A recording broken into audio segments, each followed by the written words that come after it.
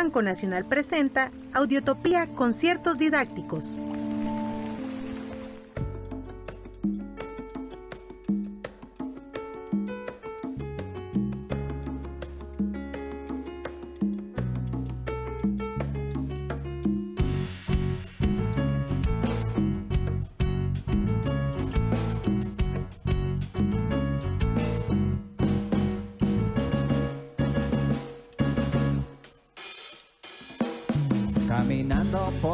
Cristo Rey.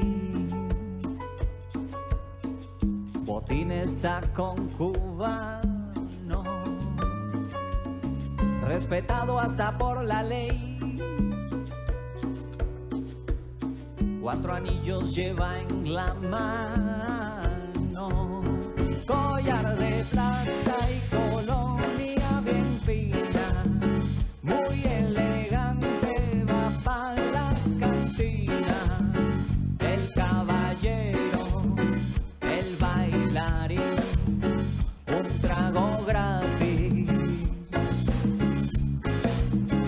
señor bailarín.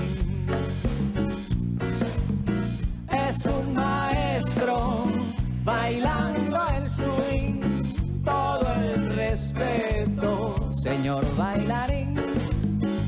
Es un maestro bailando el swing, todo el respeto, señor bailarín.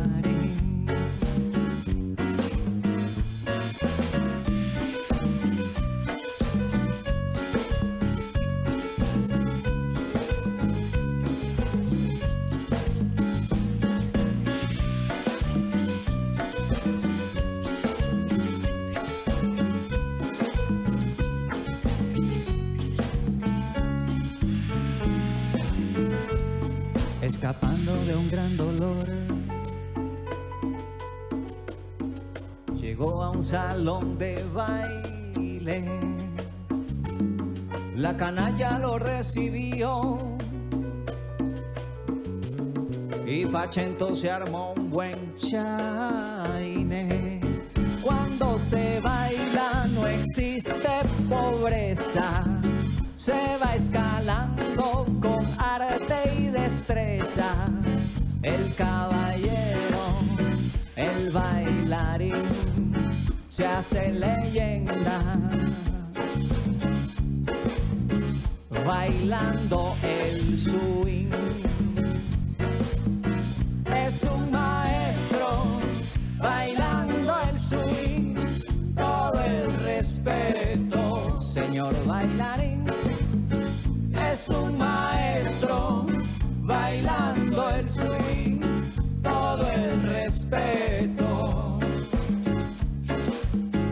Señor bailarín. Caminando por Cristo Rey.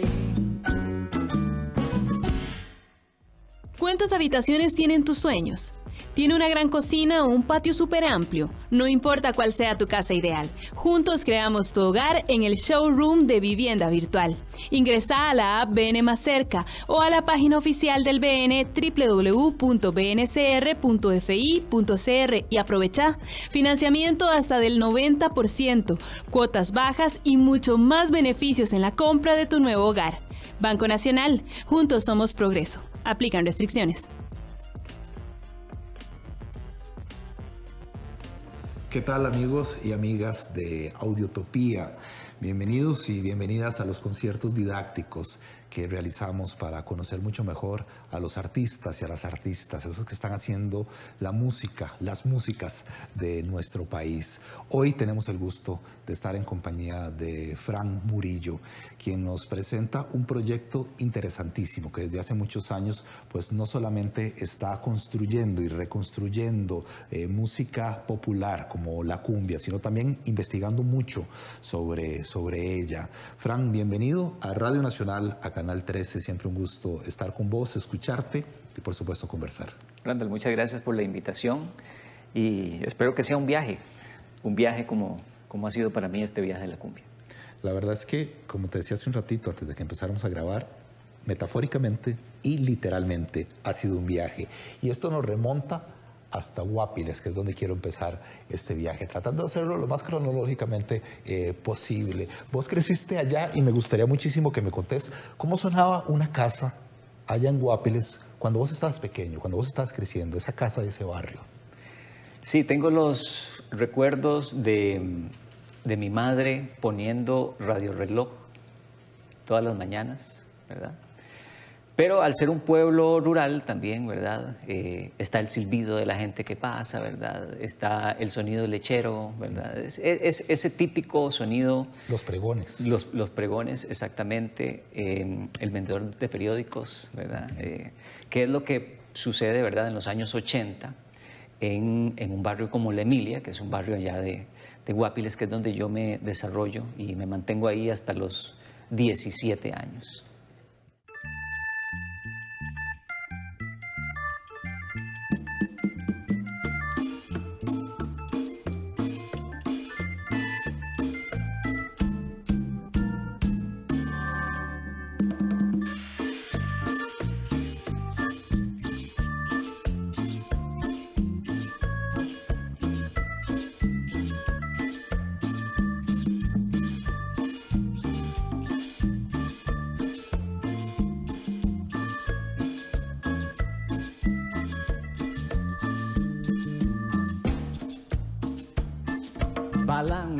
Nunca es tarde si la dicha es buena, que aquel que espera luego desespera.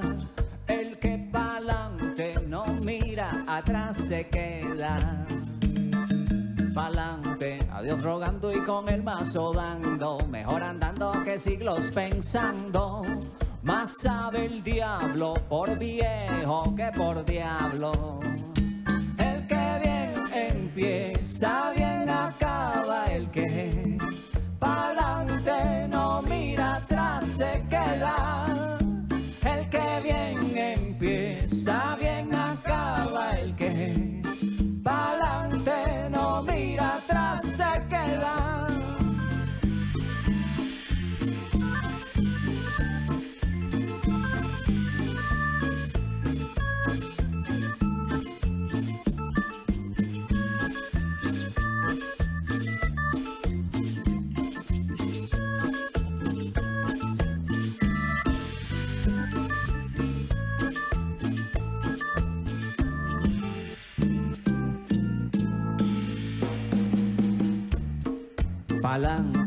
peor esfuerzo es el que no se hace. Si el río suena es porque piedras trae.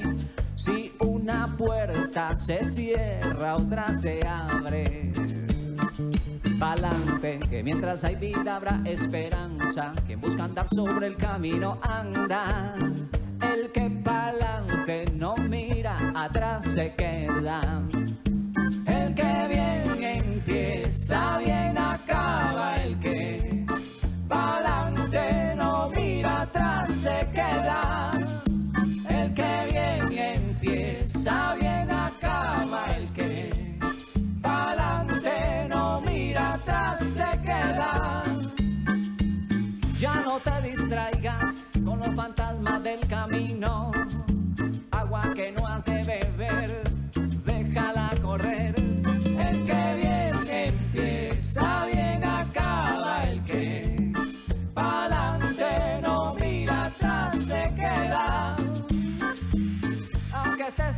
No te des por vencido. Camarón que se duerme, se lo lleva la corriente. El que bien empieza,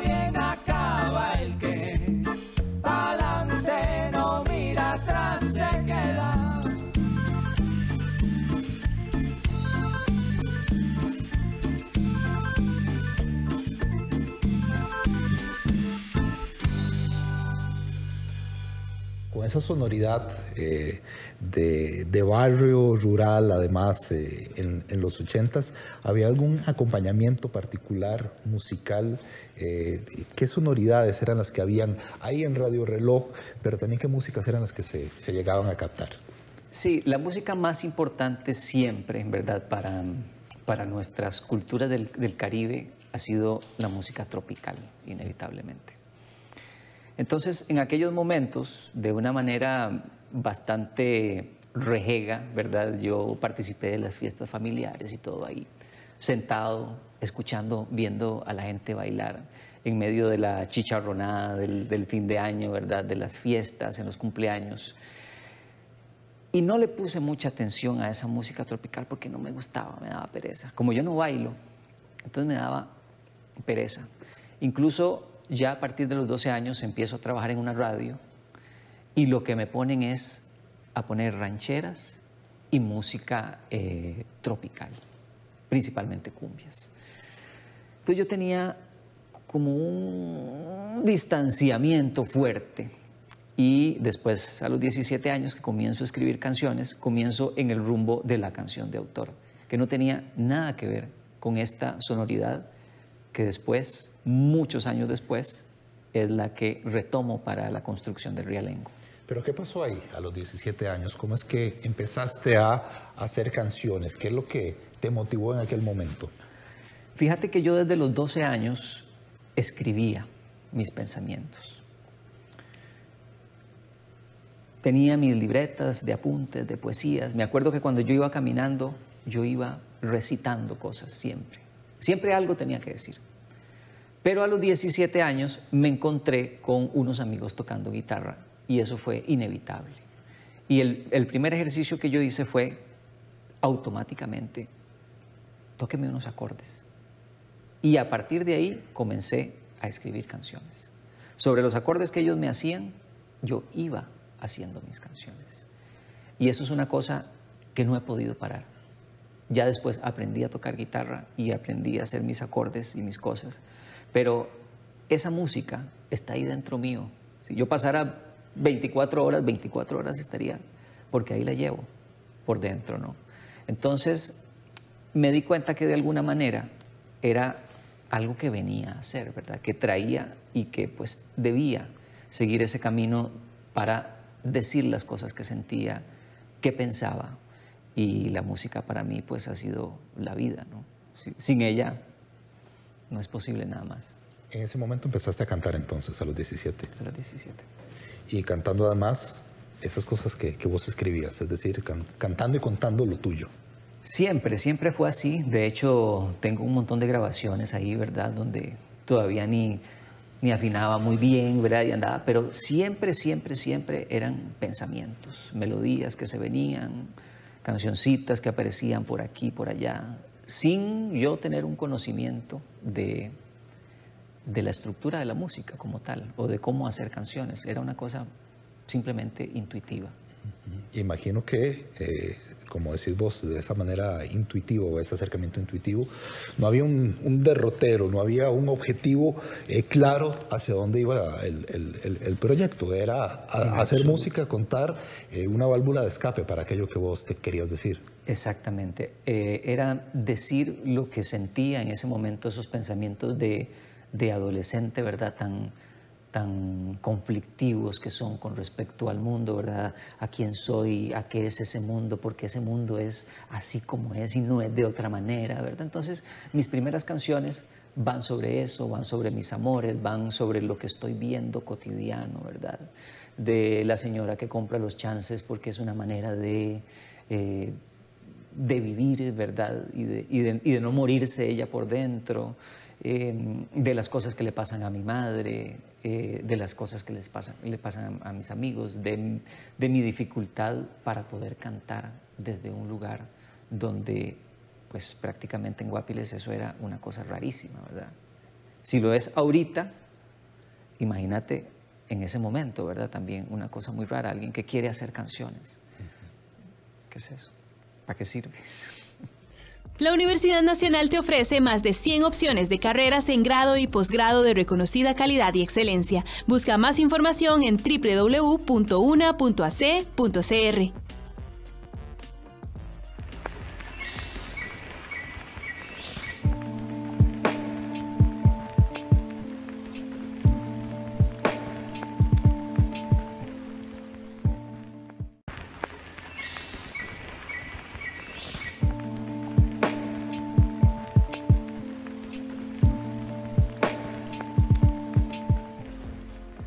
Conciertos didácticos de Audiotopía es un hermoso proyecto que divulga y enaltece el trabajo de los creadores musicales en Costa Rica y como ACAM, que es la Asociación de Compositores y Autores Musicales de Costa Rica, nos sentimos orgullosos de ser parte y apoyar este proyecto.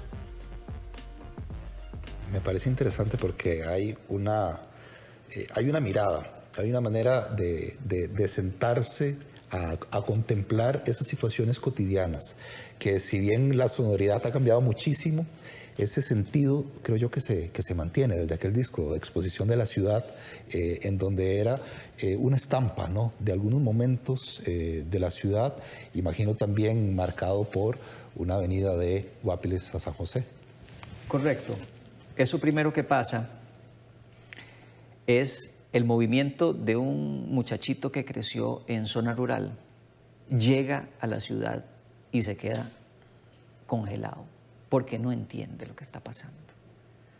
Todo va tan rápido y todo es nuevo al mismo tiempo que me acuerdo que Alberto Zúñiga, que yo era asistente de Alberto Zúñiga en Radio U, un día dice, Pancho, Pancho habla, no, crean que no habla, no, no, él, habla, de vez en cuando habla, ¿verdad? Porque él decía que yo pasaba callado todo el tiempo. Supongo que era así, porque me acuerdo que todo me llamaba la atención, todo se movía, ¿verdad? En el monte la vida es más tranquila, ¿verdad?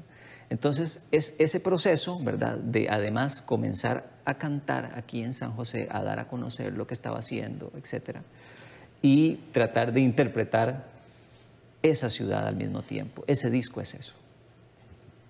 Siempre con esa, eh, con esa etiqueta de cantautor, que es algo interesante en, aquellos años, eh, que evidentemente no, no, desmerita nada, pero sí tuviste eh, un viaje revelador que creo yo que, de nuevo, esa, e, e, esa imagen tuya, con los ojos bien abiertos, creo yo que es lo que hay que mantener a lo largo de todo este, de todo este programa para poder entender esto. Como cantautor, voz, guitarra al hombro, eh, te fuiste de viaje mostrando tus canciones por toda la región centroamericana y resulta que viste muchas coincidencias más allá de, de esas que, que, que, nos quieren ocultar. Eh, y una de esas era la música precisamente, y eh, no necesariamente la música que vos estabas haciendo. Sí, definitivamente esa ruta yo no la tenía pensada, ni me la imaginaba. Yo salí con mi disco Exposición de la Ciudad bajo el brazo. Tuve la oportunidad de conocer a Perro Son Popo aquí en Costa Rica. Él me abrió las puertas de Nicaragua. Pude avanzar al resto de países de Centroamérica. Y me fui moviendo con mis canciones y me encontré con una realidad centroamericana que no tenía nada que ver con eso que yo había hecho en ese disco. Era un disco sumamente interno, personal, y aquella realidad centroamericana era un baile, era una fiesta. Tenía muchos colores, tenía muchas contradicciones. Y es ahí donde comienzo a encontrar un elemento que se repetía en todos los países. Nicaragua, El Salvador, Honduras, Guatemala. La cumbia. Y yo digo, mmm, qué curioso. Este género musical centroamericano, ¿verdad? De mi región, muy, una cosa muy inocente, ¿verdad? Y en ese momento ya yo como autor, ¿verdad? Ya sentía la necesidad, la urgencia de que la música que yo estuviera haciendo sirviera para unir a la gente. Yo dije, voy a, voy a usar este elemento que me encontré aquí común para unificar. Y así es donde se comienza a dibujar el disco Música Profana, que es el primer disco de Rialengo. Además, mi carrera de cantautor no logró conseguir los fondos para grabar ese segundo disco que había que grabar, que se llamaba Atravesando el Mundo. Entonces en eso se atraviesa la cumbia de por medio cuando regreso aquí, de ese viaje por Centroamérica, me siento con Iván Pitti y le digo, Iván, me pasó tal y tal cosa. Me dice él como es, ¿verdad? desaviando en estos temas de la música popular. Me dice, es que el tambor es el lenguaje de Latinoamérica. Y es donde me comienzo a involucrar en una búsqueda de mí mismo, porque eso ha sido. No ha sido una búsqueda de la cumbia, no, no, ha sido una búsqueda de quién soy yo y de qué es esta región donde yo estoy y por qué es como es. Y así comenzó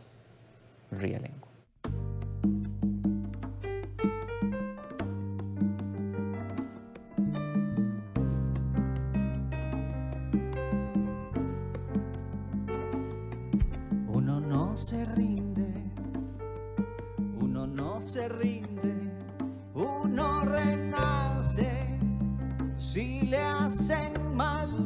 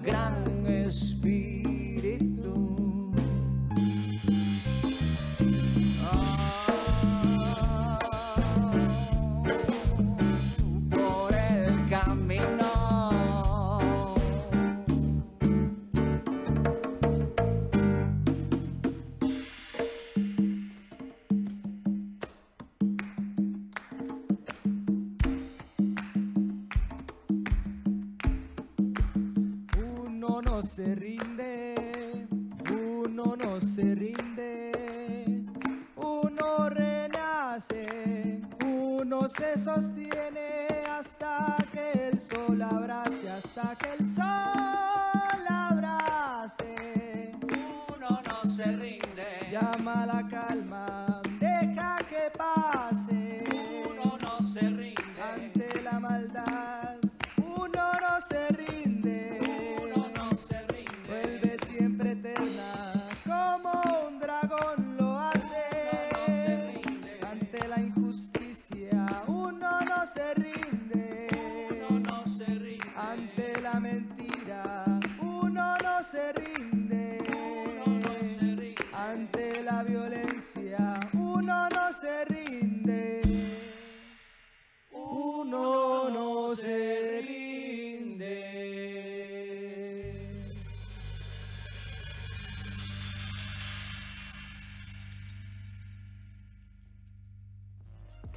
pasando tus deudas de dólares a colones con el Banco Nacional. Te ofrecemos excelentes condiciones para que elimines la incertidumbre y planees mejor tus finanzas. Solicítalo en www.bnsr.fi.cr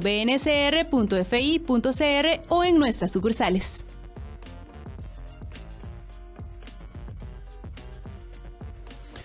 Esto último, ese, ese autodescubrimiento creo que, es, creo que es importante para poner todavía más en valor esto. Porque nos estabas contando, en la fiesta familiar se escuchaba eso. En uno de tus primeros trabajos eh, de adolescente en una radio ponías eso, pero no era algo que eh, particularmente te, te, atrayera. Más allá de el eh, servirse de un género y de una sonoridad y de toda una mitología que hay a fin de cuentas alrededor de la cumbia, ¿cómo fue hacer las paces con ese Francisco niño que se perdió tantos bailes, que se perdió tanta diversión porque de repente no lo encontraba, no, no hacían clic. ¿Cómo fue ese, ese, ese, viaje también hacia adentro para reencontrarte con algo que a fin de cuentas es esencial en toda la región latinoamericana? Creo que el, el mismo tránsito de estar haciendo canciones, de estar haciendo música constantemente, de estar viajando, de estar conociendo, me fue enseñando que yo tenía dos partes. Hay una parte muy eh, europea, por decirlo así, ¿verdad? Que viene eh, de las grandes industrias, que es donde viene la influencia del rock and roll, del reggae más industrializado, ¿verdad? De todos estos géneros del pop pero había esta contraparte con la que vos decís que yo tenía ahí, ¿verdad? Una, claramente porque esa era la música que se decía que era la música del pueblo, nadie le interesaba esa música. De hecho, la mayoría de los músicos con los que yo tocaba, incluso con, eh, con Rialengo, ¿verdad? Era una cosa como, me acuerdo que Carlito Delgado me dijo, maestro, ¿en serio usted quiere hacer cumbia? Él, se lo cuestionó realmente si, si era una cosa como para pegar, para ser famoso, ¿verdad? ahí es donde yo comienzo a integrar a través de la mera intuición esa otra parte que estaba ahí y yo dije, mm, aquí hay un lenguaje. Aquí hay un lenguaje de algo que nosotros somos que no está reconocido, ¿verdad? Y que está muy claro en ese concepto de la música profana, ¿verdad? Una música que siempre ha sido relegada, dejada de lado, pero yo sabía que ahí había algo. Y tuve que avanzar en el tiempo para darme cuenta que efectivamente no había algo, había todo ahí. Y que es lo que a mí como artista me toca ahora compartir con, por ejemplo, los bailarines de swing criollo de acá y las nuevas generaciones de músicos. Desde la Asociación de Intérpretes y Ejecutantes consideramos fundamental impulsar proyectos que vengan a poner en valor el patrimonio cultural musical del país. Es por eso que con recursos del Fondo de Desarrollo Profesional hemos decidido apoyar el proyecto de conciertos didácticos de Audiotopía.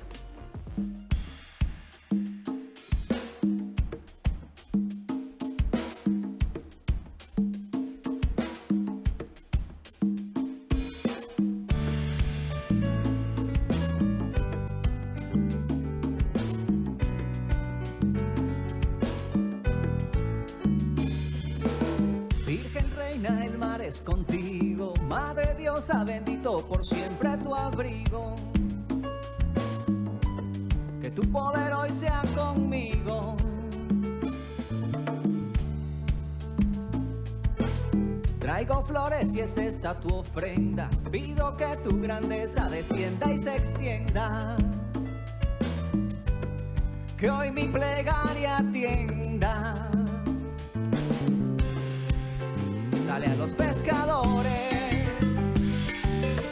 un rayito de luz en la tormenta. Cúbrelos con tu manto si calienta. Si en alta mar la calma ausenta. Dale a los pescadores peces de sobra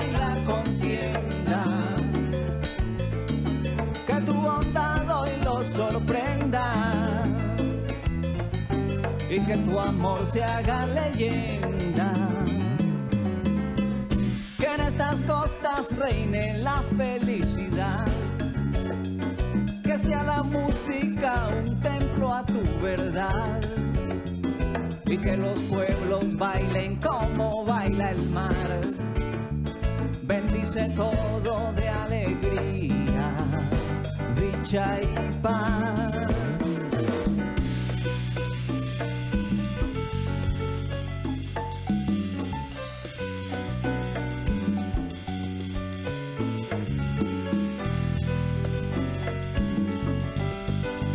Dale a los pescadores un rayito de luz en la tormenta. Cúbrelos con tu manto si calienta si en alta mar la calma ausenta. Dale a los pescadores peces de sobra en la contienda. Que tu bondad hoy los sorprenda y que tu amor se haga leyenda.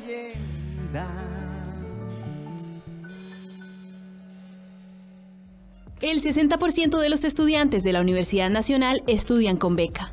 No perdas tu oportunidad de estudiar. Busca más información en www.una.ac.cr.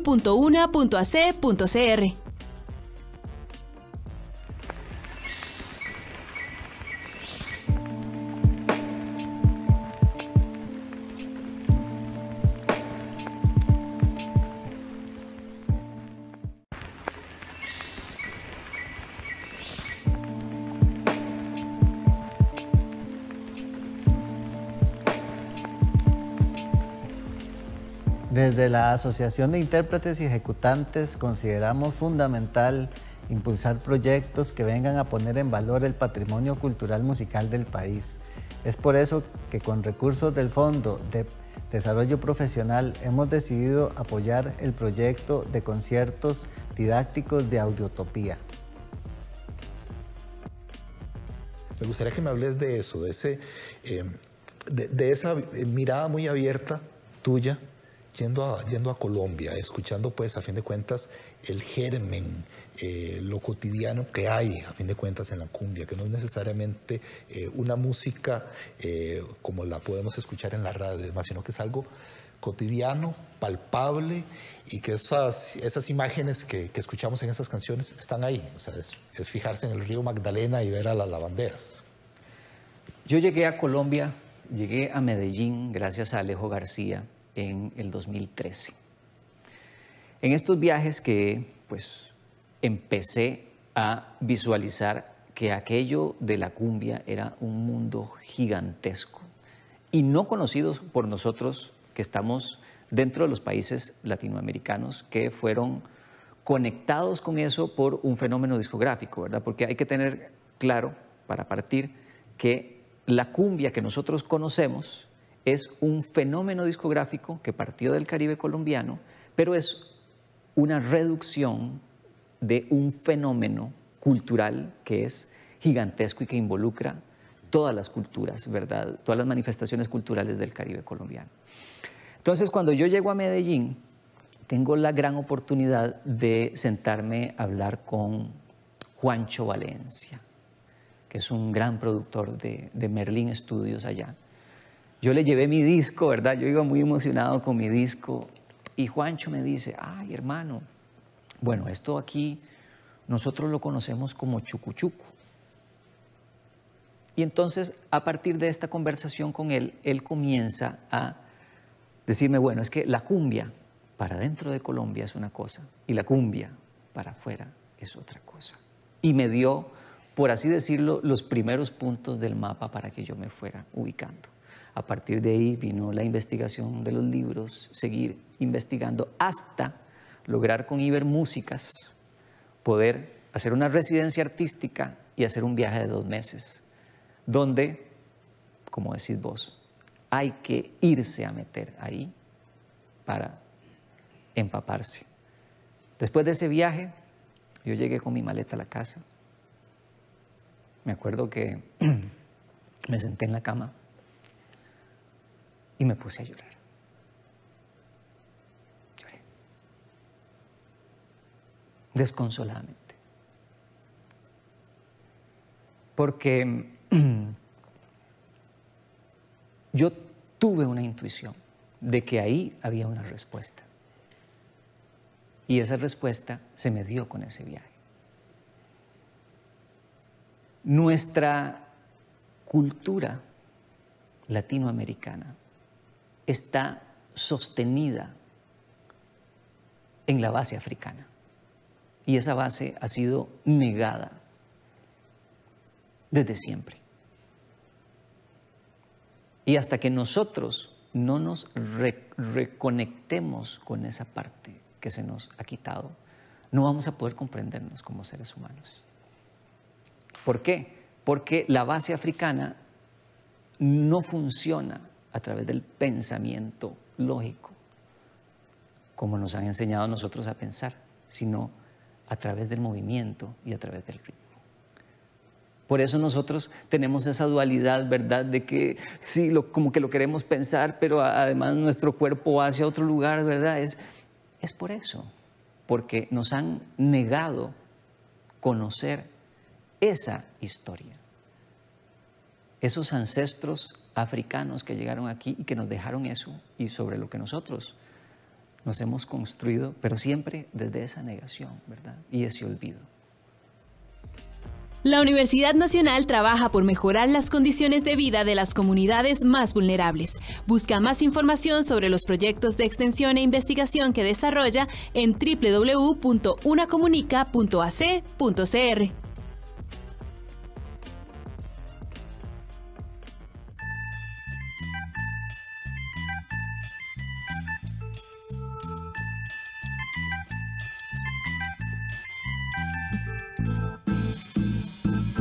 Diosito manda del cielo los buenos tiempos, ejército de bondades quiero nada más, para que no tenga sustento pueda tenerlo.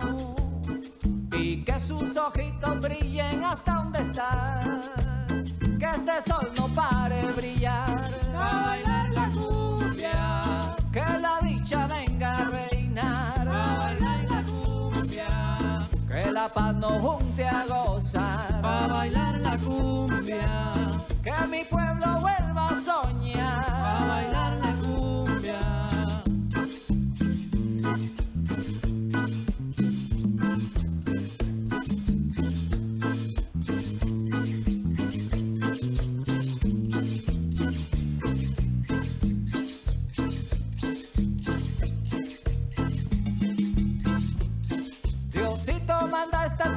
hay tanto, tanto. Envuelve hasta de abundancia al que no da. Porque este lugar se ha vuelto un valle de llanto. Y mi gente anda muy triste y no puede ya. Y que venga un tiempo de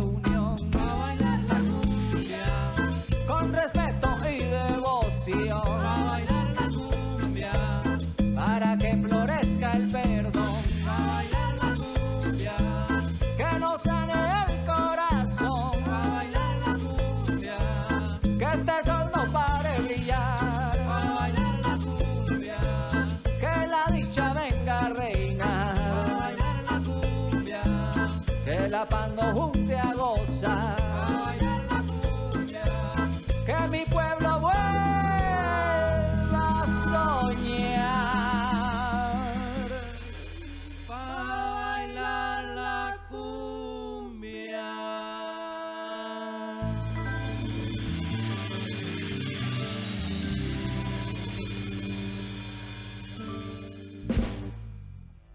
¿Cuántas habitaciones tienen tus sueños? ¿Tiene una gran cocina o un patio súper amplio? No importa cuál sea tu casa ideal. Juntos creamos tu hogar en el showroom de vivienda virtual. Ingresa a la app BN Más Cerca o a la página oficial del BN www.bncr.fi.cr y aprovecha financiamiento hasta del 90%, cuotas bajas y mucho más beneficios en la compra de tu nuevo hogar. Banco Nacional, juntos somos progreso. Aplican restricciones.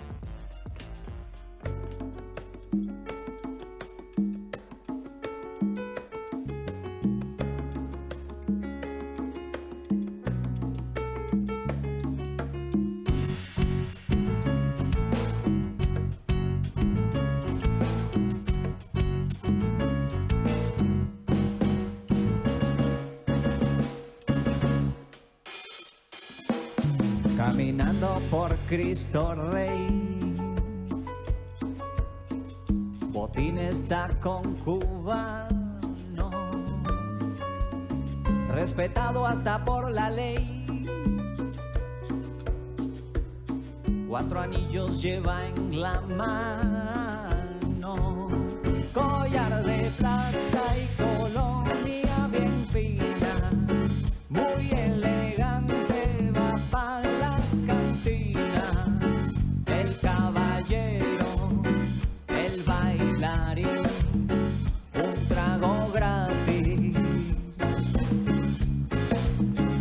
señor bailarín. Es un maestro bailando el swing, todo el respeto, señor bailarín.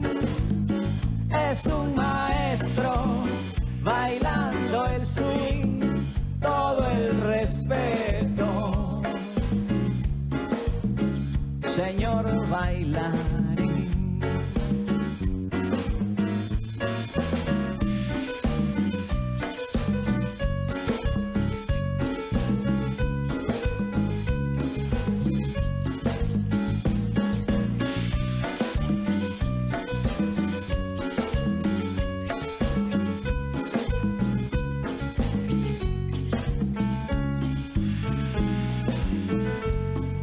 Escapando de un gran dolor. Llegó a un salón de baile, la canalla lo recibió y Fachento se armó un buen chaine. Cuando se baila no existe pobreza, se va escalando con arte y destreza. Caballero, el bailarín, se hace leyenda. Bailando el swing. Es un maestro bailando el swing. Todo el respeto, señor bailarín. Es un maestro bailando el swing. Respeto, señor bailarín. Caminando por Cristo Rey. Conciertos didácticos de Audiotopía es un hermoso proyecto que divulga y enaltece el trabajo de los creadores musicales en Costa Rica y como ACAM, que es la Asociación de Compositores y Autores Musicales de Costa Rica, nos sentimos orgullosos de ser parte y apoyar este proyecto.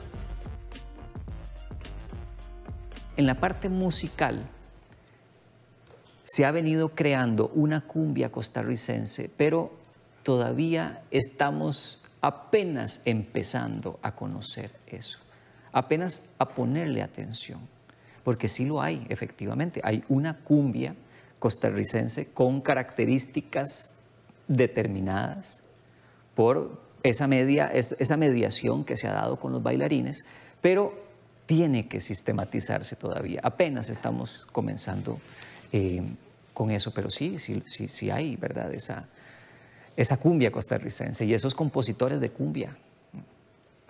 Y además un montón de músicos que se están acercando. Y antes de que terminemos este programa, me gustaría que nos hables precisamente, por ejemplo, de los que te acompañaron en, en, el, programa de hoy, este, que a, aparte de ellos, hay muchos otros que, que, tienen ese afán y ese acercamiento y esa sed eh, de divulgar la cumbia, ellos en particular.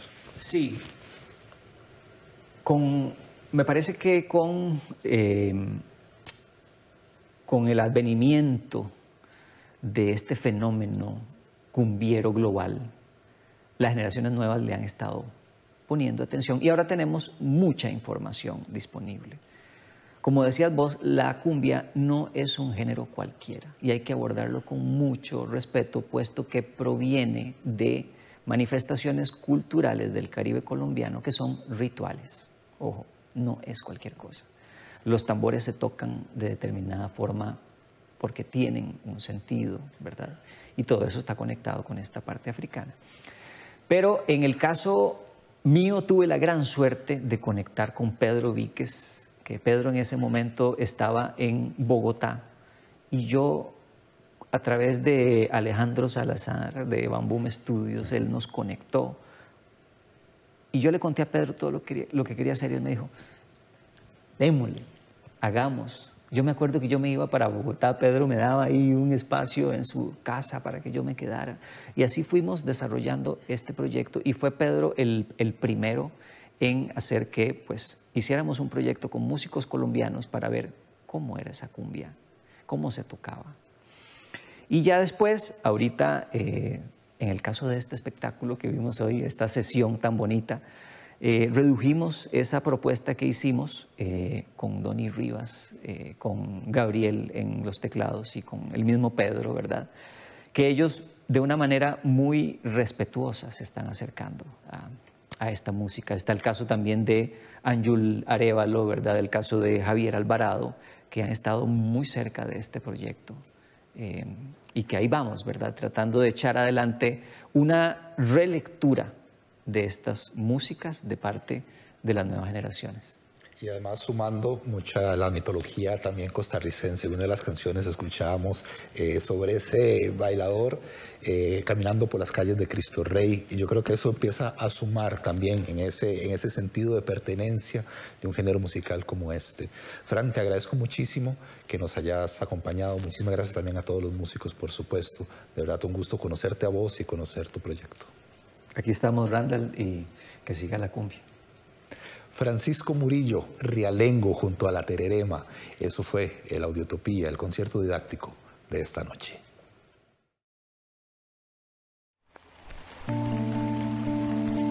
Banco Nacional presentó Audiotopía Conciertos Didácticos.